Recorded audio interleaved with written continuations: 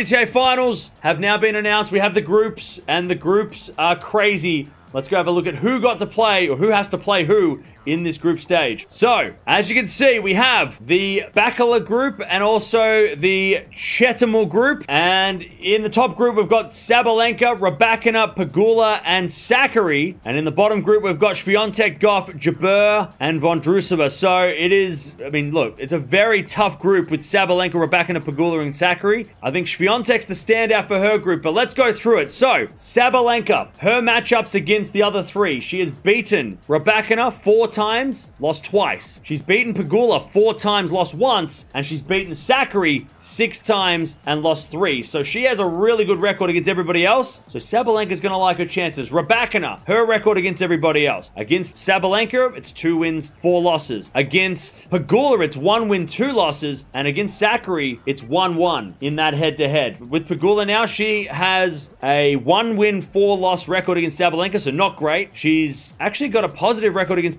Rybakina, two wins, one loss, and she's played nine times against Sakkari, has a four win, five loss record, so a negative record there. So Pegula's got a tough ask. And then Sakkari against the rest of her group, three wins, six losses against Sabalenka. She has a 1-1 against Rybakina, and against Pegula, it's five wins, four losses. So going off that, Sabalenka has a, a winning record over everybody in the group. She'll like her chances of getting through. Rybakina, it's going to be tough to play Sabalenka as it has been pretty much all year when they've played, but she'll probably get through the other two if the conditions aren't super windy. Pegula's probably got the toughest ask because she hasn't got a good record against anybody in her group, except for Rybakina, but Rybakina, I don't think they've played for over a year, so that'll be interesting. And uh, Sakkari, she's the underdog. She has nothing to lose, so she might be able to come out here and surprise. Sabalenka, though, I think she gets through maybe with Rybakina, maybe. Now, the next group, you've got Swiatek, well and truly the favorite in this group. Against Gauff, eight wins, one loss. Against Jabeur, four wins, two losses. And against Vondrousova, two wins, zero losses. So positive record all round. Gauff, her record, Swiatek, one win, eight losses. Against Jabeur, it's three wins, two losses. And against Vondrousova, it's two wins, zero losses. So she could lose against Swiatek, but beat the other two, and that'd be enough. Jabeur, I feel like she's got the hardest matchups of all. So she has a losing record against Swiatek, two wins, four losses. Against Gauff, she's got two wins and three losses. And against Vondrousova, three wins and four losses. And most of those losses have come this year against